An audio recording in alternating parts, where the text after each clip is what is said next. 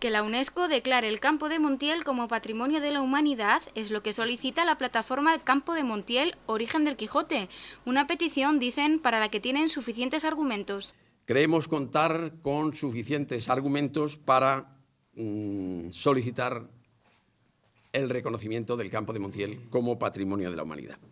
Sin ir más lejos, pensamos que se trata de un territorio singularmente vinculado al Quijote.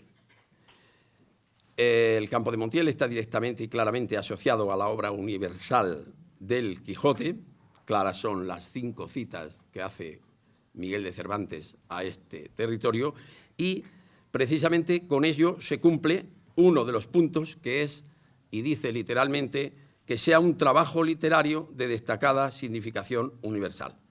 Después de tres años de trabajo ya se han iniciado los trámites para presentar al Gobierno regional el proyecto que argumenta las cualidades de esta histórica comarca formada por 22 municipios con una singular situación geográfica.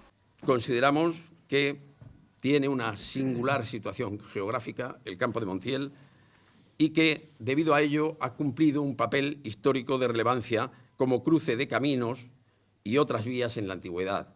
Conocida es el recorrido que hace la vía Augusta por este territorio, anteriormente Camino de Aníbal, y eh, más tarde los caminos reales que circundan y atraviesan todo este territorio.